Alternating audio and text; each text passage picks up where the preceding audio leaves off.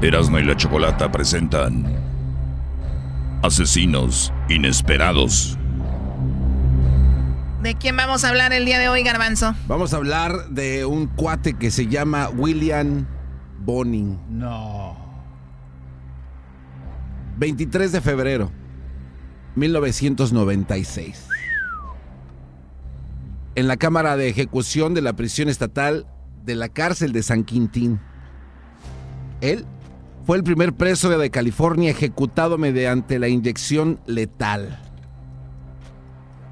El alcalde de la ciudad en aquel año, el señor Arthur Calderón, dio la orden de comenzar la ejecución justo pasada la medianoche, a las 12 con 9 minutos para ser exactos.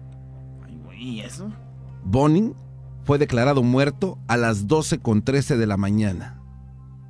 Bonin pasó su último día visitando a amigos aproximadamente a las 6 de la tarde.